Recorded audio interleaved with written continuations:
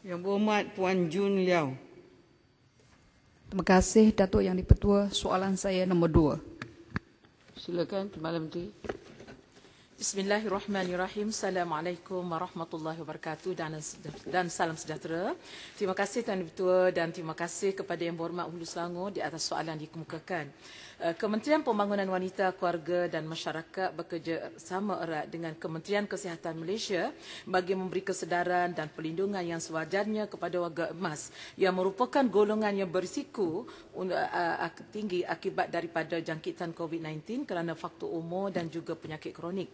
Uh, di antara program yang di, uh, yang telah dilaksanakan di antaranya ialah sambutan Hari Warga Emas pada tahun ini yang diraikan pada 1 Oktober 2020 diraikan dalam suasana pandemik COVID-19. Uh, sehubungan dengan ini tema yang dipilih bagi sambutan Hari Warga Emas untuk tahun 2020 peringkat kebangsaan ialah pandemik dan penuaan mendepani perubahan. Di mana di antara program yang dilaksanakan adalah forum berkaitan dengan kesediaan warga emas terhadap norma baru semasa pandemik COVID-19, impak dan penjagaan kesihatan di segi fizikal dan emosi, mental dan juga uh, program dialog berkaitan dengan peranan Kementerian Wanita dalam mendepani isu pandemik COVID-19. Uh, begitu juga di antara program seterusnya ialah saringan COVID-19 yang dilaksanakan dengan kerjasama KKM kepada semua penghuni dan kaki tangan di 17 buah institusi kebajikan Jabatan Kebajikan Masyarakat JKM yang melibatkan 2,376 penghuni. Saringan ini bertujuan untuk mencegah penularan penyakit di institusi warga emas dan saringan ini diperluaskan kepada 432 pusat jagaan yang dikendalikan oleh pihak swasta dan pertubuhan bukan kerajaan yang mana sejumlah 14,049 penghuni dan kaki tangan telah disaring. Uh, begitu juga kami mewujudkan uh, garis panduan pencegahan dan kawalan penyakit COVID-19 ini di pusat jagaan warga emas yang uh, yang berkediaman kerajaan, swasta dan NGO pasca perintah kawalan perakan sebagaimana sebagai rujukan dan panduan pusat-pusat tersebut dalam menghadapi situasi pandemik ini.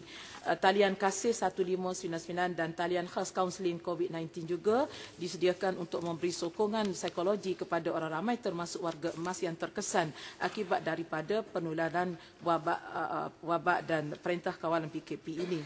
Dan begitu juga telecounseling 24 jam sehari yang merupakan salah satu inisiatif kerajaan untuk memastikan kesihatan mental rakyat Malaysia sentiasa berada tahap yang stabil dan begitu juga proses yang kelima proses uh, disinfeksi institusi warga emas JKM dan penyediaan peralatan dan serta keperluan institusi juga disediakan. Dan yang keenam program khidmat bantu di rumah atau home help service yang iaitu di mana program ini diadakan sepanjang tempoh PKP eh, dan sehingga Oktober 2020 eh, terdapat seramai 1992 sukarelawan yang telah memberi khidmat bantu di rumah kepada seramai lebih kurang 5826 warga emas di seluruh negara. Dan alhamdulillah pada bajet akan datang di mana dinaikkan allowance mereka eh, daripada 150 kepada 400 ringgit sebulan dan sagu hati kepada klien juga dinaikkan daripada 30 kepada 800 800 sebulan. Dan yang ketujuh akhirnya ialah bantuan prihatin kepada semua kepada pusat aktiviti warga emas di mana melibatkan 131 pusat warga emas dan memberi manfaat kepada 44,000 44,000 warga emas yang berdaftar. Terima kasih Tuan Ketua. Soalan tambahan. Terima kasih Datuk Yang Dipertua. Terima kasih atas jawapan yang diberikan oleh Yang Berhormat Timbalan Menteri. Datuk Yang Dipertua, kita tidak boleh menafikan bahawa warga emas telah menyumbangkan jasa kepada keluarga dan masyarakat. Dan kita juga sedia maklum, sejak PKP dilaksanakan, masyarakat mengalami uh, kesempitan hidup. Jika dulu setiap bulan mampu menyalurkan uh, duit belanjawan untuk orang tua, tetapi kini tidak mampu atas sebab ada setengah-setengah keluarga gaji dipotong atau telah dibuang kerja. Maka secara tidak langsung ibu bapa dari golongan warga emas ini juga mengalami mengalami kekurangan sumber untuk menampung kehidupan. Datuk Pengerusi, soalan saya, apakah bantuan yang dapat uh, kementerian huluhkan kepada kes yang seperti ini dan apakah pihak uh, JKM dapat membelikan uh, pertimbangan khususnya untuk warga emas ini juga dapat menerima bantuan JKM buat sementara waktu. Dalam konteks kita memperjuangkan uh, kebajikan untuk uh, M40 dan B40 warga emas tidak seharusnya kita pinggirkan. Terima kasih Datuk Yang Dipertua. Silakan Timbalan Menteri. Ya, terima kasih Ketua dan terima kasih uh, YB Kodim Selangor yang telah mengukakan soalan tambahan.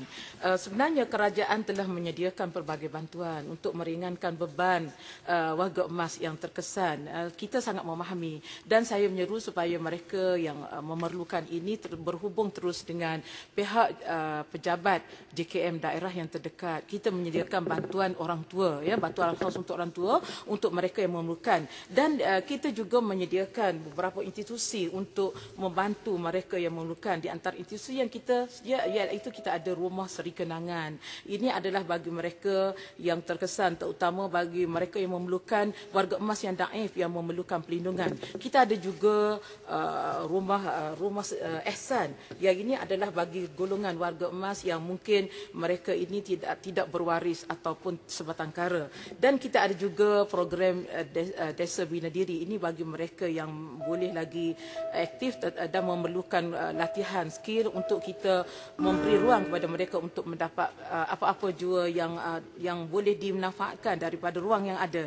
Jadi semua ini adalah untuk kita memberi perlindungan, penjagaan, pemulihan kepada golongan yang memerlukan. Jadi saya harap boleh berhubung dengan pejabat JKM yang terdekat untuk mendapat maklumat dan maklumat yang lebih jelas. Terima kasih.